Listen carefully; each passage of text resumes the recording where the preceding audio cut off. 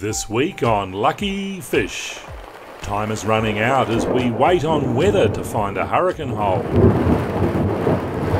Well, it's definitely time to move on. We see firsthand how dependent we've become on digital navigation and share with you the only surviving media from our voyage to Cuba. I took all my clothes off. following the Windows 10 meltdown. Okay, quick update. We just cleared customs and we're back on board the boat. We moved uh, a couple of miles just south of Georgetown to a really comfortable anchorage we've grown to love called Ruins Bay. There is uh, thunderstorm activity outside, um, but we are protected pretty much fully 360.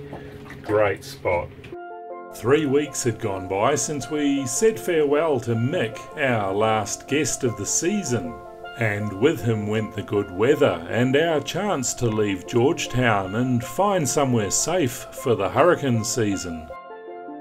Fortunately, there were some fine days and we put them to good use. Zaya's just hooked up the sewing machine to the 240 volt inverter for the first time.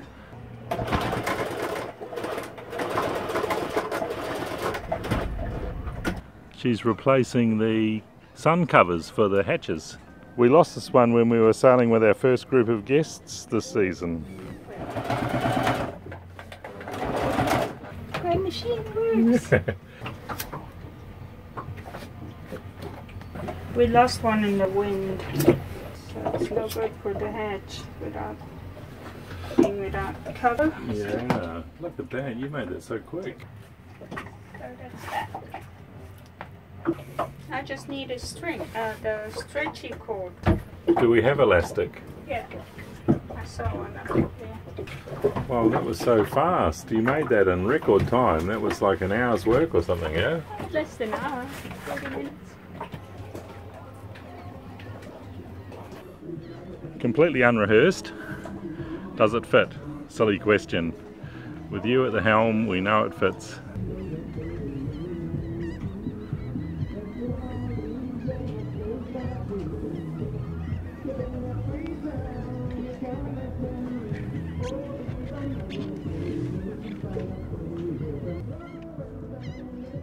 Nice. That looks good. My job saw me up the mast trying to stop a rattle from the wind generator cable. And down in the bilge, changing filters on the water maker. Yeah, both filters look pretty uh, black.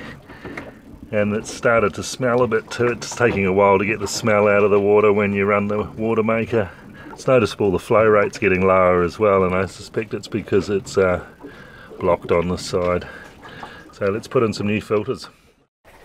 When we weren't working on the boat, there was little to do but eat and wait on the weather to change. Not doing too bad on Luckyfish. This is what happens when you're hungry and cook. Cook while you're hungry. Yeah. God, when I cook while I'm hungry, I end up eating all the ingredients. and that looks amazing. So what have we got here? Rice, this is rice paper, right? Rice paper wraps and seaweed wraps, temaki. And some sushi.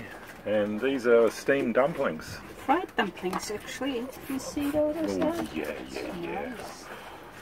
What's the filling in the dumplings? Beef with some veggies. Uh, gorgeous. this is some salmon and tuna and stuff. Fabulous. Can't wait. Also waiting on the weather was Jean Michel and his Tiki 36 Tagaki. And new crew, Michael. Yes, tonight will be perfect. They're making preparations to cross the Atlantic via Bermuda. But first they had to navigate the reefs out of the Bahamas. 285. From there we go to. So, um, what happened? You sold your Explorer charts. We and, sold, I sold and- the Explorer charts. And now you can't get now- out of here without... No. I can't. now you're stuck. now I'm stuck. Not just stuck. Oh, it's the kettle. Stuck in more ways than one. I mean, we've got thunderstorms and some trough that's producing lots of rain, Yes. but also we do need a chart in order to move around. It's useful. Michael and Jean Michel and Tagaki leaving to go to Bermuda. This is Tagaki hand pulling their anchor. well, we wish them well. Unknown to us at this time, this was to prove a fateful moment, as poor Tagaki hit a reef and their plans were delayed.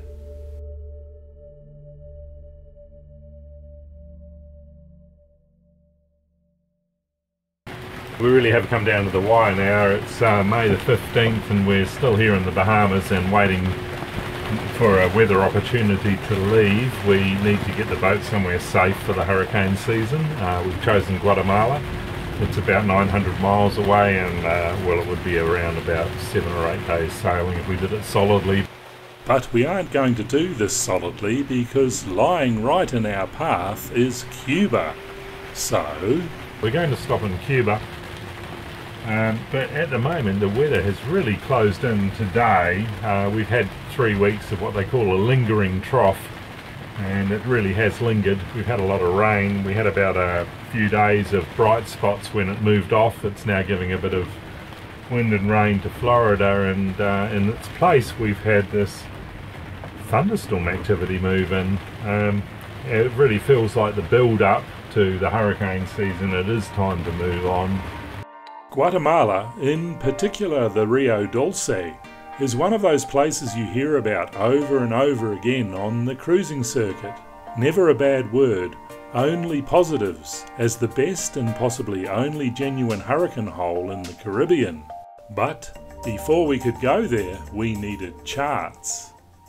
Right now, you know, we've been desperately trying to get digital charts to feed our chart plotter for the trip down the Yucatan Peninsula. And it's taken a bit of uh, effort to get them but we have them now. We had everything covered from here to Cuba uh, Jamaica but now we're going west around Cuba. So that puts us off the edge of the existing chart coverage that we have uh, and into the unknown. So uh, it's been a bit of a victory today and I'm just about to find out whether these charts that we have downloaded against all odds in Georgetown actually work on our chart plotter. We've been trying to get charts for the east coast of the Yucatan Peninsula, Mexico, Belize, the Rio Dulce approaches to all those places, Cozumel, and it's taken two days, pretty much full time. As a sailor in the 21st century, you are less of a sailor and more of a data manager. We've become very reliant on digital charts. It was the US Coast Guard in 2001 who recognised that you did not need to carry paper charts any longer on government, US government vessels. So clearly we have to have a few backups and uh, we do, with uh, mostly of the digital kind though. We're pretty dependent on renewable energy, uh, good electrical supply, chart plotters and GPS. So we finally got a plan to get to uh, Cuba and beyond. We had some OpenCPN charts, CM93 and some US NOAA stuff which is all free, but it didn't seem to me to have the same uh, detail that you need for approaches into ports and uh, shipping channels and so forth. So after two days of pretty intense frigging about on 4G mobile here, burning up the data, I've finally found some downloadable charts on a store that is online, will accept my credit card and will distribute charts to the country that I claim that we are in yeah, fill in the gaps.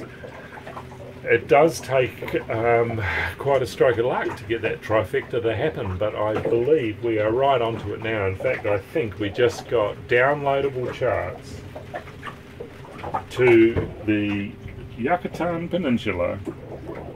Pretty happy about that.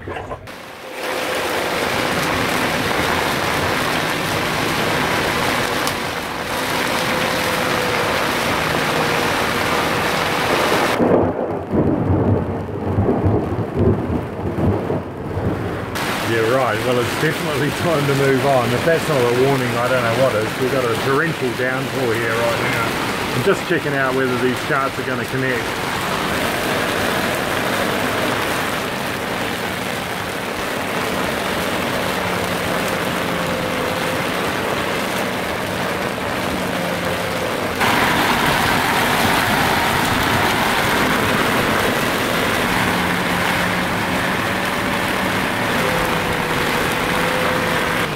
Yeah, well I'm just not seeing the detail that I expected, so I don't think we're loading the new chart. I'm not sure what the problem is. Be persevering.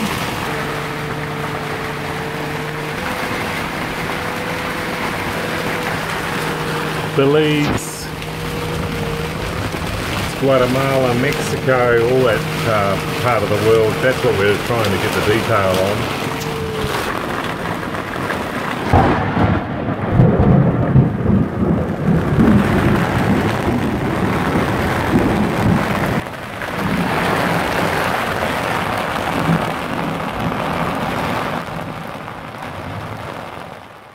Well, the charts did finally load, and after four weeks of waiting, the weather cleared, the wind turned in our favour, and we set sail for the 400 mile leg to Havana. Our video recordings from here are totally lost, save for some clips and pics I'll use to illustrate the journey. First stop was the Jumentos, a group of keys off the edge of the map for many due to its isolation and shallow approaches. After stowing the dinghy we left Flamingo Cay, heading due west over a reef-strewn bank that would last for 150 miles.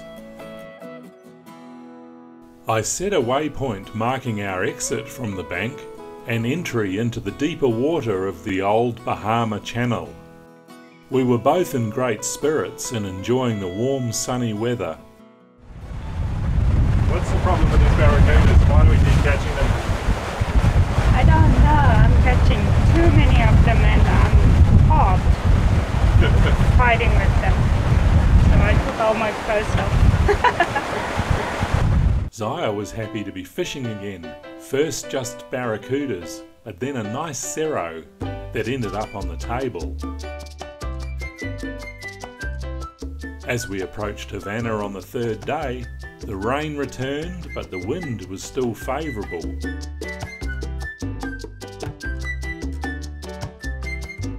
We were in high spirits as we sailed past the port of Havana, which is closed to cruisers, and continued a few extra miles to the Hemingway Marina, where we received a warm welcome from the uniformed officials.